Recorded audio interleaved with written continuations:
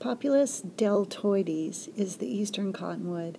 This is also a native plant to Oklahoma, one of the larger native plants. It has very fast growth rate, um, reaching uh, almost 100 feet tall and not quite as wide. It has this sort of oval canopy, so not quite the width as the height.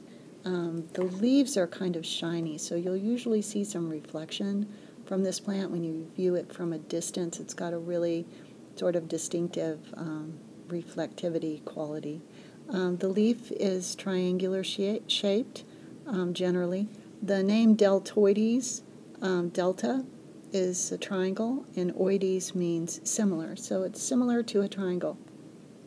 You have kind of very rough toothed edges and then tapering to a point.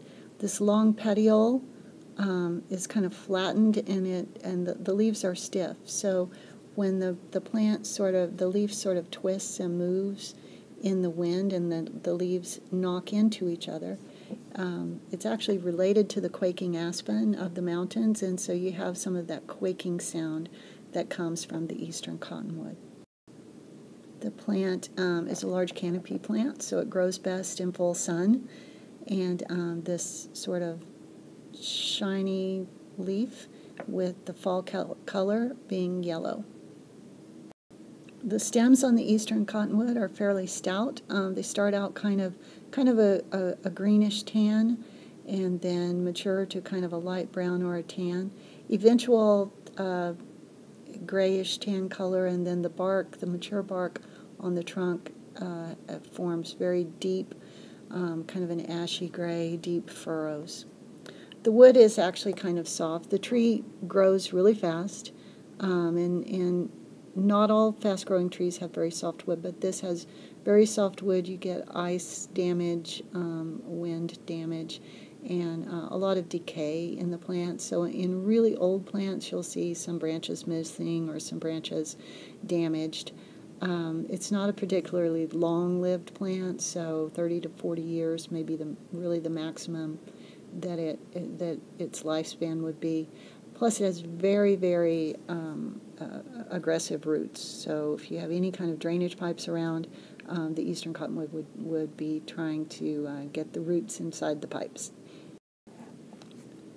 The plant is dioecious, which means that you have the female flowers, the male flowers, on separate plants. So you have these catkins, which are really just drooping clusters of flowers. And um, if, if it happens to be a female flower, then it would develop these seed pods with these cottony seeds um, they can actually be really prolific. So um, I'm sure you've probably seen these trees with cotton, what looks like cotton all around them on the ground.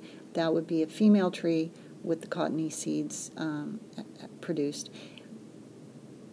The cultivated varieties of this plant are generally male because if you were going to use it in a landscape setting, you'd like to be able to avoid having the, the cottony seeds everywhere. It's native along rivers and bottomlands, so it really does appreciate some supplemental water in the summer in our area.